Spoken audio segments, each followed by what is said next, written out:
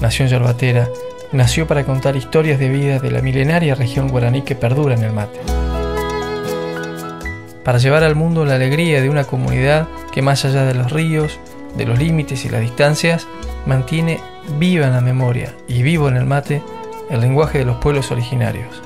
Y bueno, estoy yo y mis dos hijos, y mi señora, y mi nuera, y mi nietito. Y gracias a Dios le gusta el suelo, la tierra, así que eh, ojalá que, que siga, que la cosa siga como quien dice. Nación Yerbatera es el primer ciclo de microdocumentales del sector yerbatero argentino, el milenario corazón guaraní que perdura en el mate.